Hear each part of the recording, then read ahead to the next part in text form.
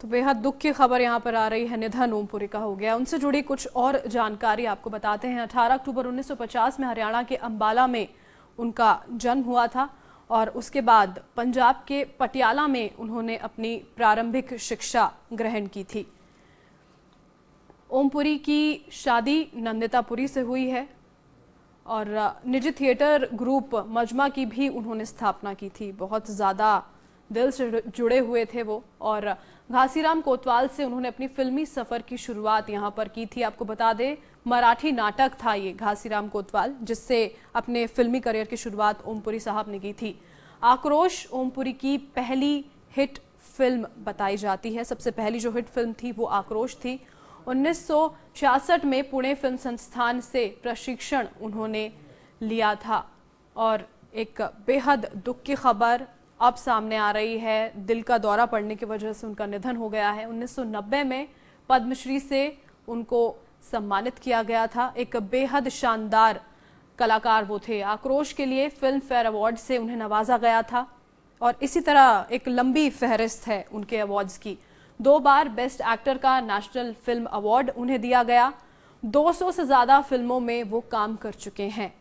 एक बहुत बड़ा ये नंबर होता है। ब्रिटिश और अमेरिकी सिनेमा में भी काफ़ी बड़ा योगदान ओमपुरी साहब का रहा है।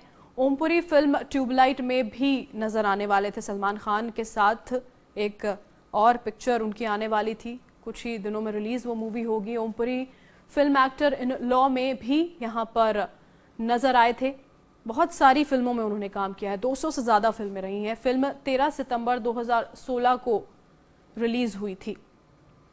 ये वो पिक्चर थी जो पिछले साल ओमपुरी साहब की रिलीज़ हुई थी और अब सलमान खान के साथ ट्यूबलाइट फ़िल्म में भी वो नज़र आने वाले हैं। चलिए, अब आपको बताते हैं लोग जो उन्हें ट्वीट्स कर रहे हैं उनके लिए। अनुपम खेर ने ट्वीट किया है कि मुझे विश्वास नहीं होता कि ओमपुरी जैसा एक्टर अब हमारे बीच नहीं है। उनके निधन से गहरा धक्का लगा है। तो अनुपम खेर का ये ट्वीट है, साथ ही मुझे विश्वास नहीं होता कि ओमपुरी जैसा एक्टर अब हमारे बीच नहीं है। उनके निधन से गहरा धक्का लगा है।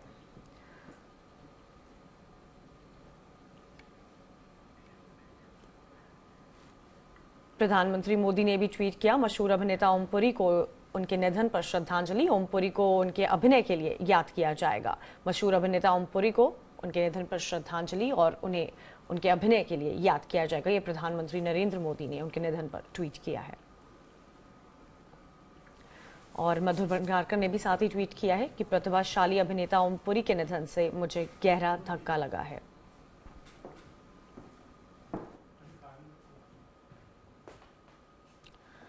साथ ही वीरेंद्र सहवाग ने भी ट्वीट किया, सदाबहार अभिनेता ओमपुरी को मेरी श्रद्धांजलि।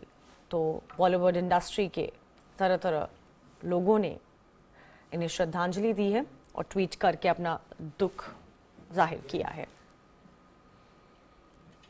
तो सभी की तरफ़ से ये बात कही जा रही है कि एक बहुत बड़ी क्षति ये पूरे बॉलीवुड इंडस्ट्री के साथ साथ पूरे देश को भी है, क्योंकि एक बेहतरीन अभिनेता को यहाँ पर पूरे देश ने और बॉलीवुड इंडस्ट्री ने खो दिया है।